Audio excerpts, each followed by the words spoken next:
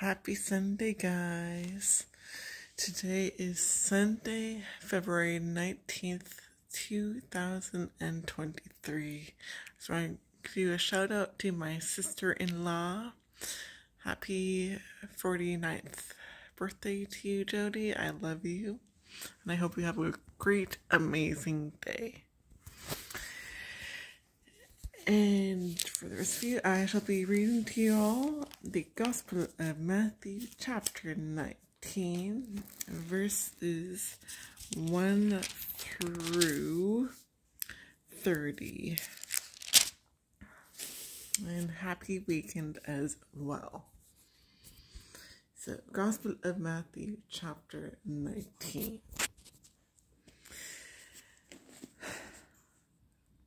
Book 6 Ministry in Judea and Jerusalem, Chapter 19 Marriage and Divorce. When Jesus finished these words, he left Galilee and went to the district of Judea across the Jordan. Great crowds followed him, and he cured them there. Some Pharisees approached him and testing him, and tested him, saying, Is it lawful for a man to divorce his wife for any cause whatsoever? He said in reply, Have you not read that from the beginning the Creator made them male and female and said, For this reason a man shall leave his father and mother and he joined to his wife, and the two shall become one flesh. So they are no longer two, but one flesh. Therefore, what God has joined together, no human being must separate. They said to him, Then why did Moses command that that, that the man give the woman a bill of divorce and dismiss her? He said to them, Because of the hardness of your hearts, Moses allowed you to divorce your wives, but from the beginning it was not so. I say to you, whoever divorces his wife, unless the marriage is unlawful, and marries another, commits adultery. His disciples said to him, If that is not the case of if that is not the case of a man with his wife, it is better not to marry. He answered, not all can accept this word, but only those to whom that is granted. Some see some are incapable of marriage because they were born so, some because they were made so by others, some because they have renounced marriage for the sake of the kingdom of heaven. Whoever can accept this uh, whoever can accept this ought to accept it. That being said, um, before I continue on, the Catholic Church, and I talked about this before, every time I read this passage in any of the Gospels, the Catholic Church does not, I must sound like a broken record, the Catholic Church does not does not recognize divorce. So if a Catholic gets divorced, um, and they're trying to get married to another person, that person is committing adultery. And adultery is when you have sex with a married person. When a married person has sex with a person, whether married or not, that is not their spouse. So, for example, if I was married um, and I was divorced and I decided to get married or get in a committed relationship with someone, whether that person is married or not, I would be committing adultery because I'm married. That's just a so called case. I'm not married, but yes, I am in a committed relationship. Um, annulments are there um, that the annulments are not divorce, and annulments um, basically say that the sacrament of the marriage never happened. So, yeah. Hmm. I wonder. This thought just crossed my head, my mind. Um, if the sacrament of marriage never happened with an annulment, Was the woman and the man committing adultery or anything like that? Just curious. Just to throw that out at, uh, at y'all. Something to mull over. But anyway.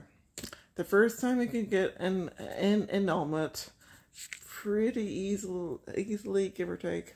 The second time was like a 50-50. Third time onward, no, I can't get it. But yeah, that being said, I shall continue on. Blessing of the children. Then children were brought to him that he might lay his hands on them and pray.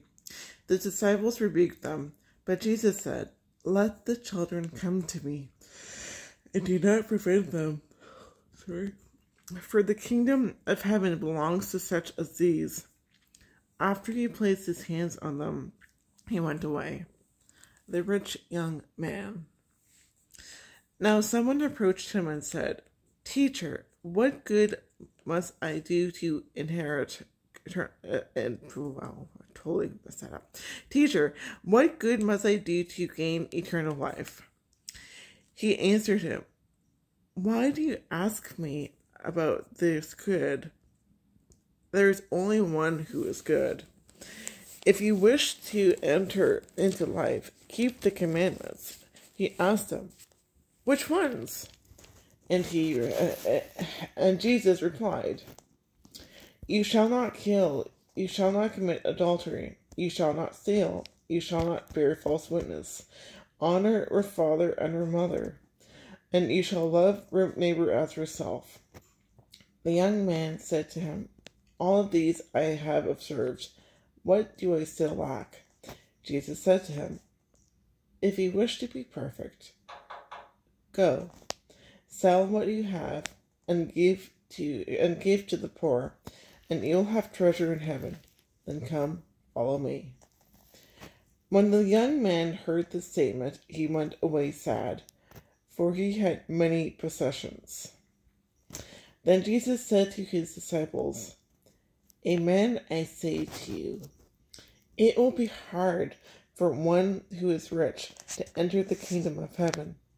Again, I say to you, it is easier for a camel to pass through the eye of a needle than for one who is rich to enter the kingdom of God. When the disciples heard this, they were greatly astonished and said, Who then can be saved? Jesus looked at them and said, for human beings, this is impossible, but for God, all things are possible. Then Peter said to him in, in reply, We have given up everything and followed you. What will there be for us? Jesus said to them, Amen, I say to you, that you who have followed me in the new age, when the Son of Man is seated on his throne of glory, will, will himself sit on twelve thrones, judging the twelve tribes of Israel. And everyone who has given up houses or brothers or sisters or father or mother or children or lands for my for the sake of my name will receive a hundred times more and will inherit eternal life. But many who are first will be last, and the last will be first. That was the Gospel of Matthew, chapter 30, verses 1 through, I mean, uh, Gospel of Matthew, chapter 19, verses 1 through 30. And back to when Jesus said to his disciples about how it would be easier for a camel to pass through an eye of the needle rather than a rich man to enter heaven. So back in the day, there were shepherds and stuff and shepherds tend to sheep, and the sheep has to be somewhere during the nighttime, or else the wolves and other wild animals could get them. Now, the thing that the sheep are in is called a needle. So the eye of the needle is the opening only fit for a sheep. Sheep can get in, no other animal bigger than sheep and goats can get in.